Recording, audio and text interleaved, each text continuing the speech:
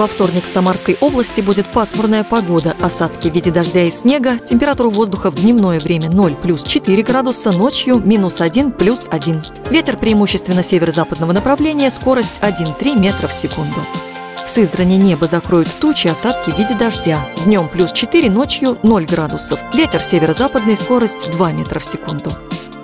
В Тольятти пасмурно без осадков. Днем плюс 2, ночью плюс 1 градус, северный ветер, скорость 1 метр в секунду. Самаре пасмурно, вечером возможен снег, днем плюс 2 градуса, ночью минус 1. Ветер северо-западного направления 1 метр в секунду, атмосферное давление 755 миллиметров ртутного столба. Влажность воздуха 91%, геомагнитное поле относительно спокойное.